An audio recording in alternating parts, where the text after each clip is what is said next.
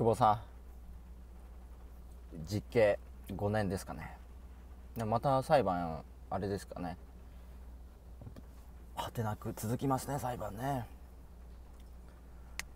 まあでももう後戻りできないんでしょうね。あそこまで無実だ言うてねいきなりそれを変えるっていうこともねなかなかなかなかファンキーですよね。うん。だからまあ今自己洗脳してるんじゃないですかね俺は無実だっていう。うん。まあ久保さんが言った通りねまあどうしたいかっていうのをね自分でこう暗示かけるのが結構大事ですね。まあ無実だまあまあ100歩譲ってまあ無実ではないじゃないですか。無実ではないと思うんですよね。どう頑張ってもまあどどうなんですかね？無実にではないだって人殺してんだから無実にはなりえないと思うんですよ。まあそれが過失があろうがなかろうがうーん無実にはならないですよね。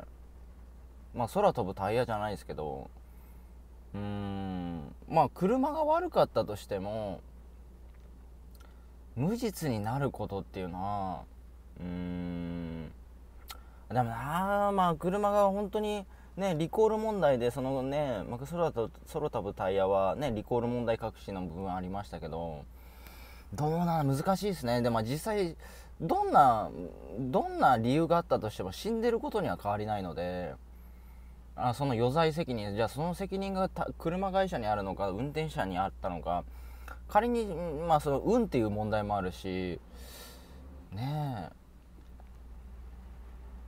タイヤが吹っ飛んだけどそこに人がいなかったら人は死んでなかっただろうし。何なんですかね難しいですねここはね。非常に難しいな。うん。まあ一つ事実があるとするならば死んだってことですね人は。人が死んだっていうその件に関して。うん。うん。まあここはも難しいのでまあただ自分のなんだ事実をお伝えすると自分の事実から考えるとするならば今僕は生きていて今僕は動画を撮っていると。いうその事実ですね。うん。そう。まあ今運転してますけどね僕もね人をこうね引いてしまう可能性もなきにしもあらずだし久保さんあの事故もう2件ぐらいなんか車横転してましたよ久保さん。車横転。車横転してましたよ。だから僕も気をつけないとなっていうね。うん。そう。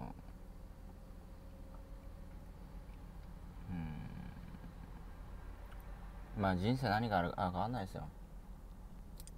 まあ本当ねなんかねいつ死ぬのかなっていうのはね僕いつも思ってますけどね。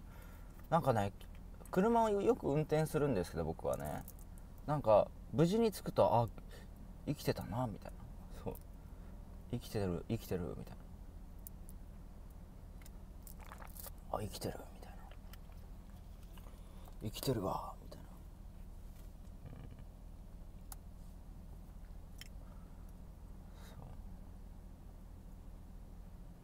うん、生きるって何なんでしょうね。久保さんにこれ生きるとは何ぞやと。久保哲郎のね生きるとは何ぞや哲学をねあのー、まあちょっと聞いてみようかなと。生きるって何なんですかね？うん。死にたいと思ってる人はまだ死んでないし生きたいと思ってる人は死ぬし。ね。何なんでしょうね。不都合ですね。人生っつうのは生きるっつうのは。いずれにせよそのブラック・ジャックがねブラック・ジャックでしたっけ？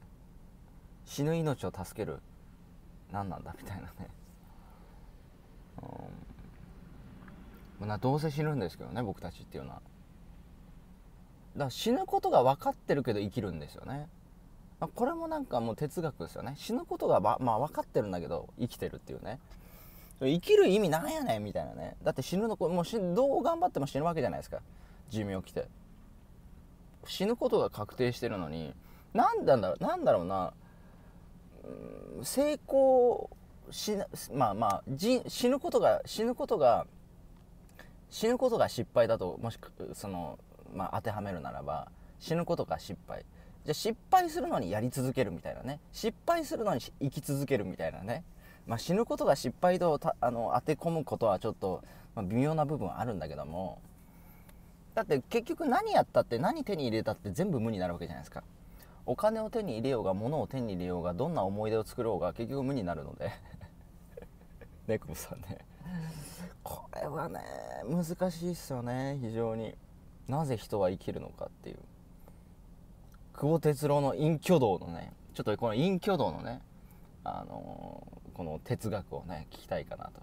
人はなぜ生きるのか。いってらっしゃい。